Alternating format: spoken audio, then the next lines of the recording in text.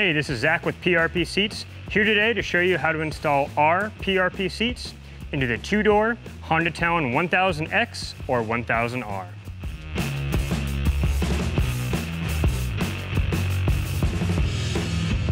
You can find our line of PRP seats for the Honda Talon at prpseats.com or through your authorized dealer. Go to our site, find the seat model that you prefer, and design it yourself with over 60 different colors and materials to choose from in our integrated seat builder. Each seat model for the Honda Talon, whether it be the GT3, GTSE, XC, RS, or Highback, should be sold as a pair with the mounts for the Honda Talon included in the price. If you have a second-hand pair of PRP seats, we also have the Honda Talon seat mounting kit available on our site. The seat mounting kit comes with brackets for the driver and passenger side and a corresponding fifth point bar if you have five point harnesses. The brackets and the fifth point bar attach the vehicle reusing the stock hardware. Then to attach the seat to the brackets, we have our own supplied hardware. One thing to know before you order seats, uh, with the Honda, you can use, still reuse your stock three-point seat belts if you, if you have the XC or the RS seats. With the GT3 and GTSE, this three-point buckle right here will not fit in that harness slot. It's kind of hard metal right here and it's not very pliable. Some other vehicles, we've been able to like basically kind of feel it and kind of push it, push it through. This one though, on the Honda Talon, is metal. It's not very malleable. It doesn't really move that easily. Um, so you only gonna be able to use the stock three-point seatbelt if you have the XCs or RSs. If you choose the GT3s or GTSEs, you're going to have to use aftermarket harnesses. On the passenger side, we're gonna start by removing the bottom seat cushion. Then we're gonna use a small flathead screwdriver to remove the two little pop bolts here and remove this plastic piece. Now you're gonna use a 12 millimeter socket to remove the two bolts and two nuts holding the stock seat frame to the vehicle.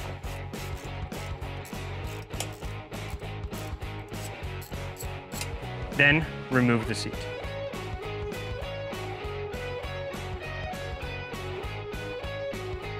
Next, we're gonna install the brackets on the bottom of our PRP seat. You're gonna flip the seat upside down. If you have any square tube brackets in the seat like this, they're not gonna be needed for this installation, so you can take them out and set them aside. Each passenger side bracket is going to mount up with the two corresponding holes with the leg on the back side of the seat angled out in this L shape towards the inside. You're gonna attach these brackets using the stock hardware we provide, one quarter inch 20 bolt, a lock washer, and a flat washer.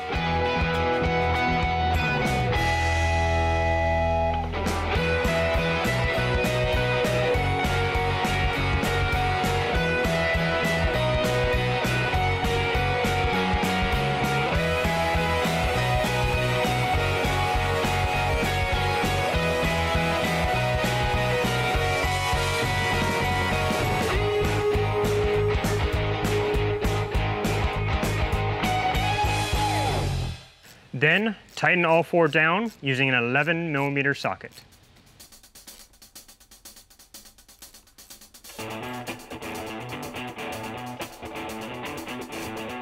Before we put the seat back in the vehicle, there's one thing we need to go over.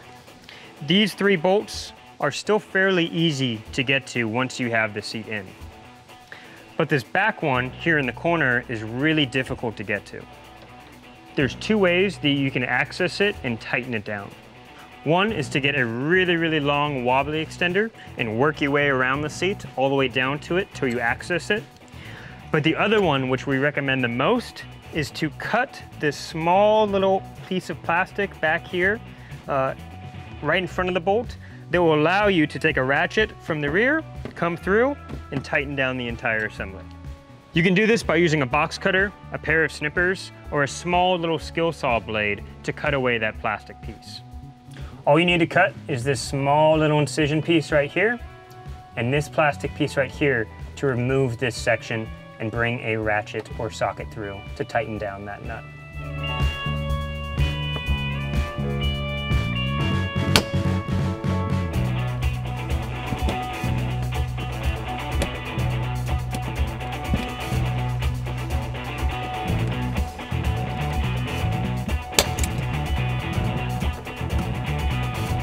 Now we can place your PRP seat in the vehicle. Along with your mounting kit, we've included these two fifth point harness bars. If you're running a fifth point harness and have that substrap, this allows you to connect or bolt up that substrap right underneath the seat to the vehicle. Uh, the passenger side is going to be the shorter one. The driver side is gonna be the longer one. So what you're gonna do is you're gonna place this bracket on top of the two bolt holes underneath the front of the seat. Then we have supplied two longer bolts that are longer to stock um, that are gonna use a 13 millimeter ratchet to tighten down.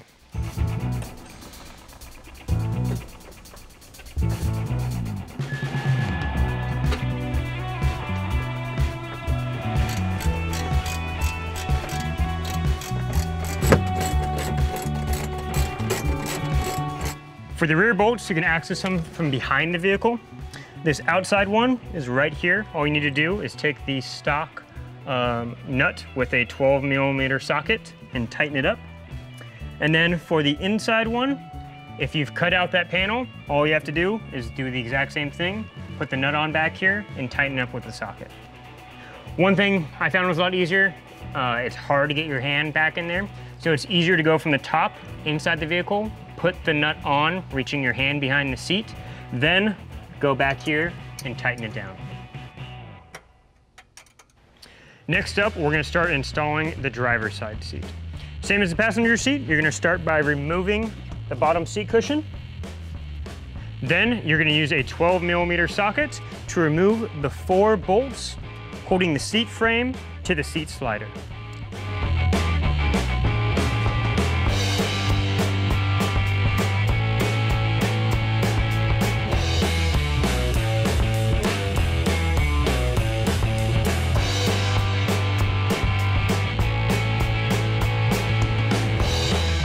Once you've done that, you're gonna remove the seat from the vehicle.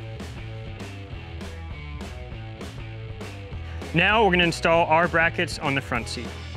They go like this with the edges, these two little arrow sections going forwards with the tab little pop-out sections on the bottom. And they just slide right over the stock bolt holes on the slider.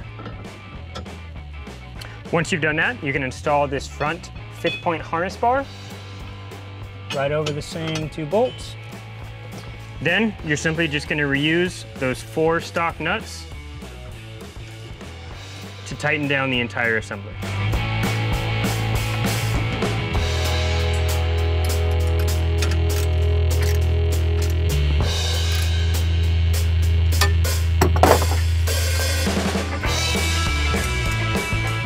Once you've done that, you're going to place your PRP seat into the vehicle. Make sure the seat slider is all the way forward on both sides so both of them are even.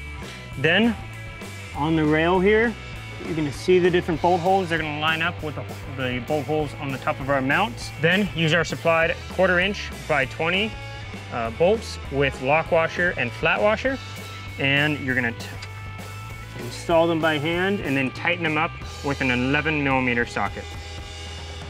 I found it easiest if you start on the inside and connect the bolts on there. Then move to the outside here and connect these bolts uh, using a socket or an 11 millimeter wrench. Once you've done that, you can slide the seat back to your choosing and you're ready to go.